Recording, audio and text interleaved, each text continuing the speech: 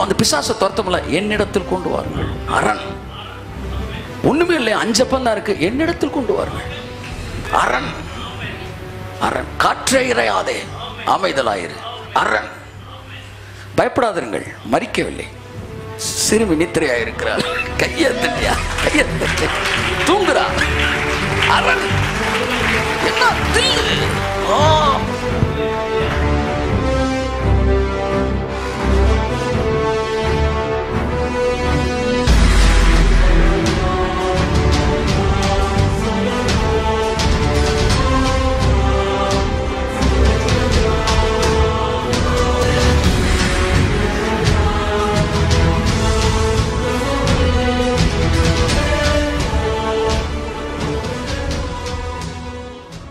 இயேசுநாதரை ரொம்ப நான் ரசிக்க இந்த நாளைக்கு நீ கார்த்திட்ட சொல்லியிருந்தேன் கார்த்தி.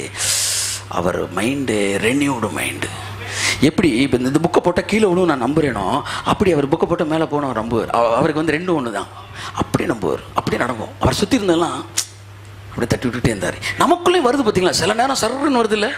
ஆ சில நேரம் டஸ்ன்னு போயிடுது இந்த சர்ருன்னு வருது பாருங்க இந்த சர்ரு சர்ரு சர்ரு சர்ன்னு ஏற்றிக்கிட்டே இருந்தால் ஒரு நாள் எப்போவுமே அது சர்ருன்னு அப்படியே நிற்கும் அது அரணாக மாறிடும் கர்த்தன் எல்லாருக்கும் உதவி இதுக்கு தான் சொல்கிறேன் ஐம்பது ரூபா பஞ்சாயத்து எவனை காலி பண்ணலாம் கெடுக்கலாம் இதெல்லாம் என்ன தூக்கி எரிஞ்சிடணும் ஆமாம் ஐம்பது ரூபாய்க்கு எப்படி திட்டம் போடணும் அதெல்லாம் தூக்கி எரிஞ்சிடணும் மேலான விலை சிந்தியுங்கள்னாரு. ஏனென்றால் சிந்தனை அரணாய் மாறும் என்று தேவனுக்கு தெரியும். அதான் சொன்ன மேலானதை சிந்தி மேலான அரண்கள் உனக்கு கிடைக்கும். ஆமாம் தைரியமாக இருங்கள் உங்கள் என் தேவன் கொடுக்குற வார்த்தைகள் எண்ணங்களாகட்டும் எண்ணங்கள் வலிமையான எண்ணங்களாகட்டும். பின்பு செயல்களாகட்டும் அது அனுபவமாகட்டும் அதுவே அரணாகட்டும். இன்றைக்கு உங்களுக்கு பல அரண்களை தேவன் எழுப்பி இருக்கிறார் பல அரண்களை எழுப்பி இருக்கிறார் இன்னும் ஹீலிங்கில் அரண்கள் எந்திரிக்கட்டும்? ஐஸ்வர்யத்தில் அரண்கள் எந்திரிக்கட்டும்? இந்த ஐஸ்வர்யத்தில் அரண் எந்திரிச்சிச்சுன்னு வச்சுக்கோங்களேன். இப்படி கூப்பிட்டு சட்டுன்னு மண்டையில் தட்டிட்டு நீ பணக்காரனாயிட்ட போடான்றீங்க. சீரியஸாங்க மண்டையில் அப்படி தட்டிட்டு நீ பணக்காரனாயிட்ட போன்றீங்க. அவன் போவேன் சார் திடீர்னு நாலு ஒரு ஊழியக்காரனை பார்க்க வந்திருந்தாரு. ஐயா நான் வேலையை விட்டுட்டு விட்டுறவா? வந்து ஊழியத்தில் இருக்கவன் இன்னொருத்தர் கூட்டிகிட்டு வந்திருக்கேன் அந்த ஊழியக்காரை. நான் எப்போவுமே நான் சோஃபாவில் படுத்துக்கிறதேன் கவுன்சிலிங் நம்ம ஸ்டைல் வந்து சர்ச்சில் ஸ்டைல் தான். அப்போ சொல்லுங்கள் சார் சொல்லுங்கள் சார் கேட்டுக்கிருக்கேன் என்ன வந்து ஊழியக்காரனை பார்க்க சொன்ன பக்கம் கூப்பிட்டு வந்தேன். இவர் என்ன படுத்துக்கிட்டு பேசிக்கிட்டு இருக்கிறாரு? கூட்டிகிட்டு வந்து எனக்கு நல்ல ஃப்ரெண்டு அதனால படுத்துறேன் இப்போ புதுசாக வந்தவர் இப்படி எனக்கு கணக்கு போட்டுக்கிட்டு இருக்காரு எனக்கு தெரில ஐயா ஊழியத்தை விட்டுறவா? இது வேலையை விட்டுறவா? ஊழியத்துக்கு வந்துடவா பொருளாதாரத்தில் நான் பாதிக்கப்படுவேனான்னாரு. நான் அப்படியே பேசிட்டு தலையை சொல்லியிருந்தேன் விட்டுருக்கேன். வேலையா? விட்டுருக்கேன். ஆ டீ சாப்பிட்றீங்களா? காஃபி சாப்பிட்றீங்களாண்ணே சார் சீரியஸான மேட்டர் பேசிட்டு இருக்கேன்.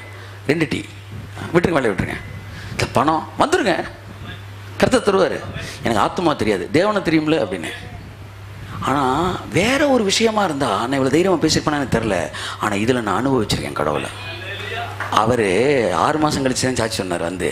என்ன சொன்னார்? அப்போ சொன்னப்போ தான் தெரிஞ்சு இதெல்லாம் நீ வாட்ச் பண்ணியிருக்கியான்னு அவர் சொன்னார் நான் அவர் வீட்டுக்கு போயிருந்தேன். என்னை கூட்டிகிட்டு போய் கவுன்சிலிங் இவர் போய் இவர் நல்ல ஒரு தீர்க்க தெரிஞ்சு சொல்லுவேன் என்னை கூப்பிட்டு போனாங்க. நான் போனேன் ஆண்டவர் வே சார் வந்து ஐயா நான் வேலையை விட்டுறவா? அவர் என்னோட சீனியர் விட்டுட்டு ஊழியத்துக்கு வரவா? என்னை பொருளாதாரம் எப்படி இருக்குன்னு அவர் சொன்னார் போங்க போங்க சரியாயிரும் அப்படின்னாரு. அப்போ நான் சொன்னேன் அவருக்கு என்னங்க வெளியே வந்து சொன்னாராம். அவர் காலாட்டிக்கிட்டே பேசுகிறாரு இதெல்லாம் கதைக்கு ஆகாது இவர் சொன்னாராம் அவர் சொல்கிற செய்யா கட்டாயம் கர்த்தர் சந்திச்சிருவாரான்னு வீட்டுக்கு போனால் என்ன பேசியிருக்காரு. விடுவோமா வேண்டாமான்னு சாயந்தரம் ஒரு வீட்டு ப்ரேயர் செல்லுக்கு போயிருக்காரு. அவருக்கு மாதம் நாலாயிரரூவா தேவை அந்த இரநூறு முந்நூறுன்னு ஊழியத்தில் கிடைக்காதான். அதனால் எப்படா நம்பி வேலையை அவர் அன்னைக்கு சாயந்தரம் போயிருக்காருங்க ஒரு ப்ரேயர் செல்லு அந்த ப்ரேயர் செல் முடிஞ்ச உடனே காணியை கொடுத்துருக்கேன் எண்ணி பார்த்தா நாலாயிரம் ரூபா வந்துருக்கு. எண்ணம் வந்து என்னவாகி போச்சு? அரண் ஆயிடுச்சு உடனே அடுத்த நான் வேலை எழுதி கொடுத்துட்டேன். இந்த ஆறு மாதம் இது வேலையில் இருக்கும்போது வருஷத்தில் நாலு மாதம் நான் வாடகை கொடுக்காம இழுத்துருக்கிறேன். ஆனால் நான் ஊழியத்துக்கு முழு நேரம் வந்துட்டேன். கர்த்தரை நான் நிறைவாக சந்திக்கிறேன் இந்த பாருங்க ஒரு புது செல்ஃபோன் வாங்கியிருக்கிறேன்றார் இது அஞ்சு வருஷத்துக்கு முன்னாடி நடந்த விஷயம். செல்ஃபோன் வாங்கியிருக்கிறேன். நான் வந்து அவருக்கு நான் தேங்க் பண்ணுறேன் பைசோன் ஜீவன் நதி ஊழியங்கள்னு சொல்லி ஊழியங்களை ஆரம்பித்து நீங்கள் சூப்பராக தூத்துக்குடியில் பண்ணிக்கிட்டு இருக்காரு. உங்களுக்கு அரணானதெல்லாம் நீங்கள் கேஷுவலாக தான் ஹேண்டில் பண்ணுவீங்க. ம், பயத்தோட ஹேண்டில் பண்ண மாட்டீங்க. அரண் ஆகட்டுமே ஆ. ஆரோக்கியம் அரண் ஆகட்டுமே எண்ணங்கள் நல்ல வசனங்கள் எண்ணங்கள் ஆகட்டும் எண்ணங்கள் அரண்கள் ஆகட்டுமே எதிரி உங்கள் தலைமுடி என்ன திமுறில் பேசிக்க அப்புறம் ஏசுனேன் சொல்கிறார் உன் தலைமுடி ஒன்றும் கீழே விழாதுடா. ஐயா போகிற போக்கில் எவனும் அடிச்சு அடிச்சு விட்டேன். நீங்கள் இன்னும் நடக்காதுடா. போய் நறுக்கி சொல்லு. உங்களை கொலை செய்ய தேர்றான் நான் ஏசினாட்ட அவர் சொன்னார் என்ன மட்டும் இல்லடா எருசலேம் சுற்று வட்டாரத்திலே ஒரு தீர்க்கதரிசியை கூட உன் ஏரோதால தொட முடியாதுன்னு போய் சொல்லு. ப்ரொட்டெக்ஷன் எனக்கு மட்டும் இல்லை. பரலோகத்திலிருந்து இந்த எருசலேம்ல இருக்கிற அத்தனை ஊழியக்காரனுக்கு ப்ரொடெக்ஷன் இறங்கியிருக்கு. போய் நறுக்கி சொல்கிறான்னா ஐயா நீங்கள் சொன்ன உடனே அவர் கோபம் ஆயிட்டாருன்னா நடக்காதடா. நான் தில்லு பாருங்க. ம். ஐயோ அந்த பிசாசை துரத்தமில்ல. என்னிடத்தில் கொண்டு வாருங்கள். அரண். ஒண்ணுமே இல்லை அஞ்சப்பம் தான் இருக்கு. என்னிடத்தில் கொண்டு வாருங்கள். அரண். அரண். காற்றை இறையாதே. அமைதலாயிரு. அரண். பயப்படாதருங்கள். மறிக்கவில்லை. சிறுமி நித்திரையா இருக்கிறாள் கையை தட்டியா தூங்குறா. அரண். என்ன தில்லு? ஓ ம். கலட்டிட்டு ஏசுனர் தலையை மாட்டிடணும் அதுக்கப்புறம் உங்க லைஃபே சூப்பர் இன்னொரு இயேசுவை இந்த உலகம் பார்க்கும். இன்னொரு இயேசுவை இந்த உலகம் பார்க்கும். இன்னொரு இயேசுவை இந்த உலகம் பார்க்கும்.